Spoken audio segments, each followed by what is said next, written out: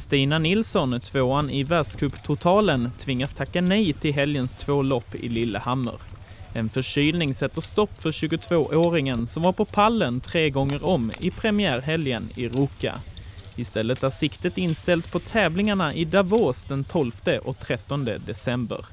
Även Marcus Hellner som missade premiären i Ruka kastar in handduken på grund av förkylning.